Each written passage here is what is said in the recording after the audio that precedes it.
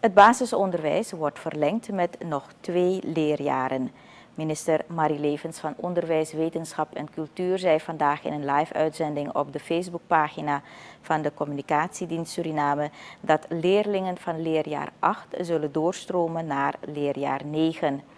Leerjaar 9 is hetzelfde als het eerste leerjaar van het lager beroepsonderwijs en het MULO. Levens geeft aan dat LBO en MULO nu dus samenkomen.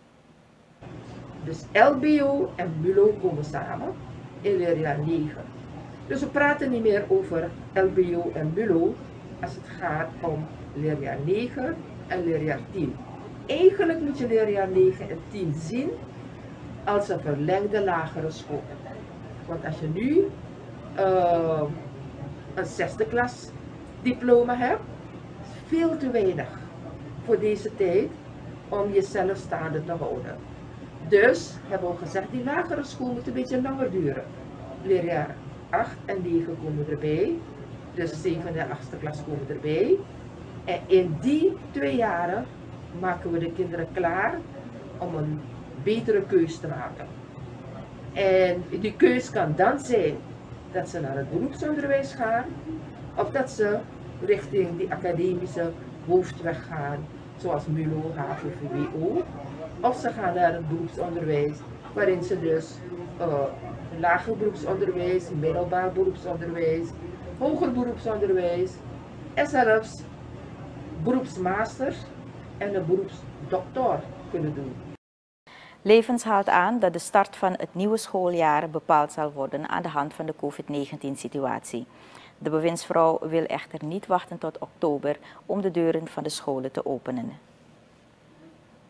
Ik hoop dat ik niet pas in oktober hoef te beginnen. Ik hoop dat ik in juli alweer de scholen open ga doen.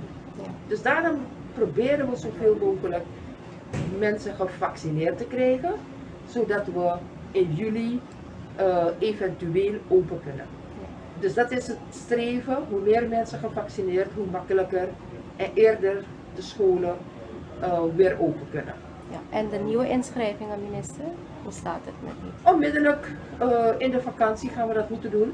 Want ik ga proberen om misschien toch nog twee weken van de grote vakantie te gebruiken. Dus normaal stop je de eerste week van augustus met de school. En, maar het is afstemmen met die leerkrachten en die ouders. En ik wilde voorstellen van laten we doortrekken tot eind augustus. Maar die kinderen zijn zo lang thuis gebleven.